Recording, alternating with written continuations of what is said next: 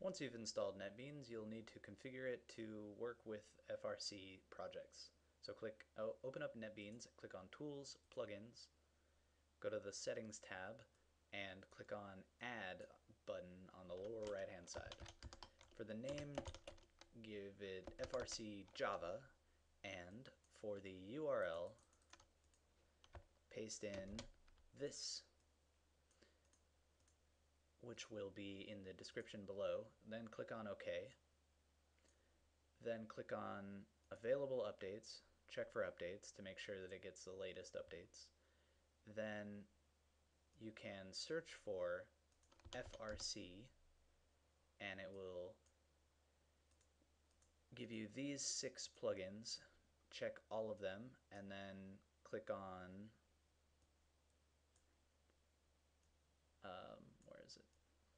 Install. Click next and accept. I accept this agreement.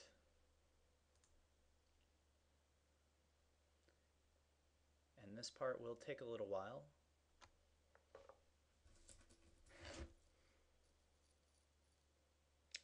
Depending on your internet download speed.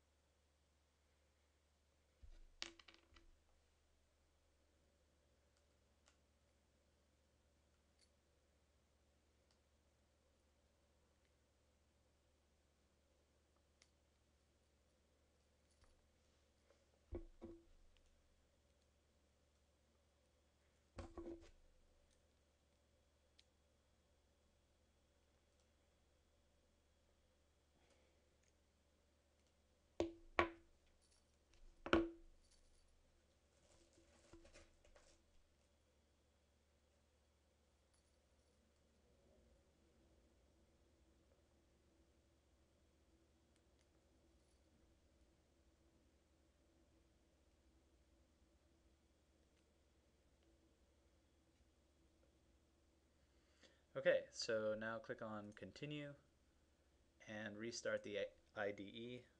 That will restart NetBeans.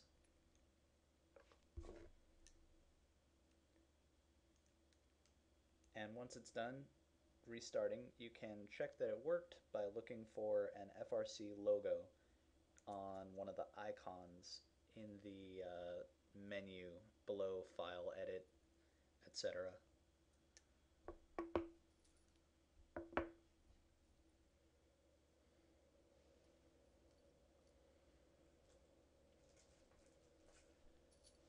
So there's the icon, which means everything was installed correctly.